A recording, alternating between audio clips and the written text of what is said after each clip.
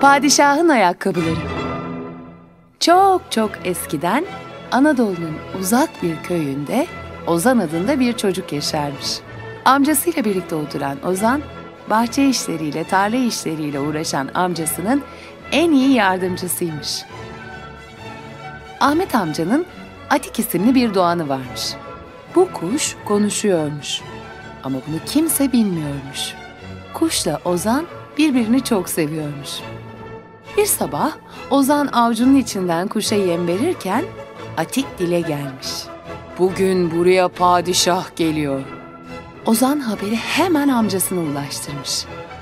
Amcası kuşun şimdiye kadar söylediklerinde yanılmadığını söyleyip Atik'i de yanlarına alıp kasabaya inmişler. Halk ikili sıralı yolun kıyısına dizilmiş, padişahın gelmesini bekliyormuş. Geçit alayı Mehter Marşı'nın eşliğinde yolun başında görünmüş. En önde parlak kılıçlarıyla yeniçeriler yürüyor, ardından sırtlarına ağır sandıklar yüklenmiş katırlarla atlar, develer geçiyormuş. Daha sonra da pırıl pırıl elbiseler giyinmiş adamlar görünmüş. Onlar geçerken ortalığı mis gibi lavanta kokuları sarmış. Padişah tahterevanıyla önlerinden geçerken Ozan'la amcası yerlere kadar eğilip padişahı selamlamışlar. Bu sırada padişahın tahterevanının önünde yürüyen Yeniçeri ağası Ozan'ın omzundaki kuşu görmüş. Padişahımız av için iyi bir doğan arıyordu. Onu bana vereceksiniz, demiş. Ozan, ama bu evde büyüdü, avcılık yapmaz ki, diye söylenmiş. Yeniçeri ağası, sen anlamazsın, deyip adamlarından birini işaret etmiş. Adam Ozan'ın omzundan kuşu alıp taburdaki yerine dönmüş. Ozan karşı çıkmaya kalktıysa da amcası onu sakinleştirmiş. Padişahlar her zaman istediklerini elde ederler. Onun için kendini üzme, demiş Ozan'a. Alay ardında büyük bir toz bulutu bırakarak uzaklaşmış. Ozan'ın dünyası kararmış. Ne bir şey görüyor, ne de duyuyormuş. Amcası Ozan'ı omzundan dürtünce kendine gelmiş. Yolun tozları yatışmış. Yolun tam ortasında bir deri torba duruyormuş. Amcasıyla birlikte torbaya bakmaya gitmişler. Oldukça yıpranmış bir torbaymış bu deri torba. Üstünde de bir şeyler yazıyormuş. Ahmet amca az buçuk okuma yazma bildiği için yazıyı heceleye heceleye okumuş. Torbanın üstünde Padişahın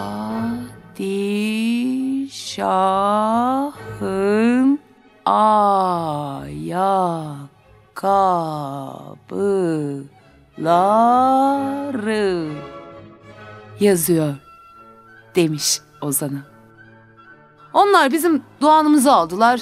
Bu da bizim hakkımız deyip torbayı almış Ahmet amca. Tarlaya yarım bıraktıkları işin başına dönmüşler.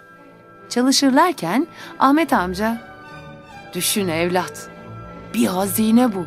Padişahın ayakkabıları bunlar.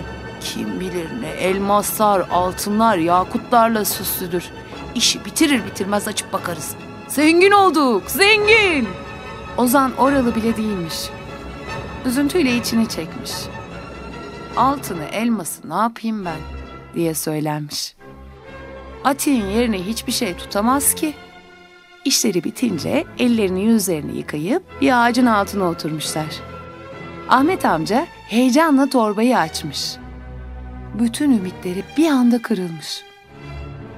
Torbanın içinden bildiğimiz deriden giyilmiş beş çift ayakkabı çıkmış. Yumuşak ve rahat oldukları da belli oluyormuş.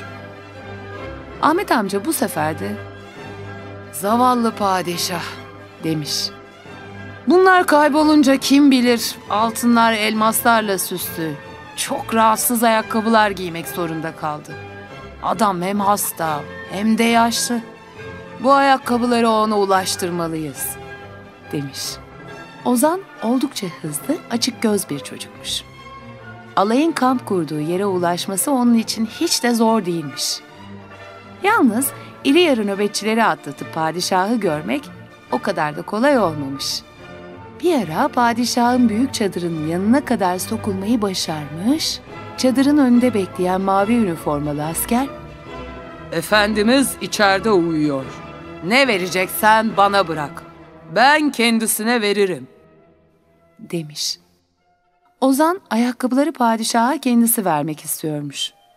Çadırın önünde umutsuzluk içinde kıvranırken içeriden bir ses gelmiş. Bırakın girsin. Bırakın girsin. Diye bağırıyormuş içerideki ses. Ozan sesi hemen tanımış. Gözleri parlayarak içeri atılmış. Padişah yatağında her şeyden habersiz mışıl mışıl uyuyormuş. Yüzü solgunmuş. Karyolanın demirinin üstünde ise Atik tünemiş, gözlerini kırpıştırarak Ozan'a bakıyormuş. Zaten az önce konuşan da oymuş. Ozan ayakkabı torbasını sessizce yatağın yanına bırakmış, Ati'yi okşayarak cebinde getirdiği ayçiçeği çekirdeğiyle yemlemeye başlamış. Bir yandan da onunla konuşuyormuş. Sen burada kal. Padişaha yardımcı olursun, demiş. İstersen kuşu alabilirsin, diye bir ses gelmiş arkasından. Yüzünü döndüğünde padişahın ona sevgiyle baktığını görmüş. Sizde kalsın, can yoldaşınız olur, demiş. Padişah feri kaçmış gözlerini Ozan'ın kanlı canlı yüzünde gezdirip ağır ağır konuşmuş. Kaybolan pabuçlarımı bulup getirmekle bana büyük bir iyilik yaptın sen. Karşılık olarak da kuşu benim armağanım olarak say. Şunu da hiçbir zaman unutma. İnsanın kendisi için değerli olan şeyler başkaları için pek para etmez. Tıpkı benim eski ayakkabılarımla senin kuşun gibi. Böylece ikisi de mutluluk içinde birbirlerinden ayrılmışlar.